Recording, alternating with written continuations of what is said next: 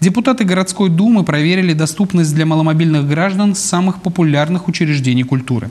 Совместно с представителями Общественного совета по инклюзии парламентарии посетили Центральную городскую библиотеку имени Крупской, музей Ильдара Рязанова и детскую картинную галерею. Какие замечания возникли в ходе комитета и как их исправят, узнал Михаил Ермоленко.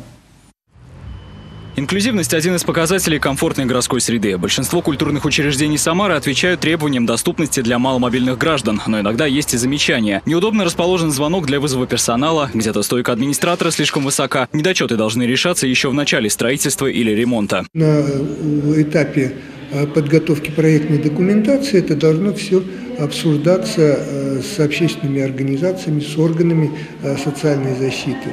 После капитального ремонта объект должен быть 100% доступен для всех категорий граждан.